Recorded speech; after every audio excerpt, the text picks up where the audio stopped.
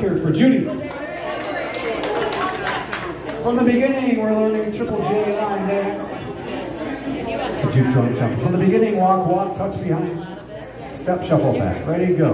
Walk, walk, touch, step, shuffle back, right back, recover. One, two, three, four, five, and six. Toe step. One, two, three, four. Jazz box. Quarter turn, touch, step, touch, back. Jazz box. Here's the kicks. One, two, three, four, five, six, seven, eight. So last eight counts, you guys just watch this part, turn, just watch it. So rock, recover, shuffle, half turn, rock, recover, shuffle, half turn, and right back on the left foot. Watch one more time with the count. One, two, three, and four, five, six, seven, and eight. End of dance. So let's try that together. Right side left, rock forward, recover, half shuffle, turn right. Ready to go. One, two, three, and four, five, six, seven, and eight. Our momentum's going forward to start the dance again. Two all Juke joint jump.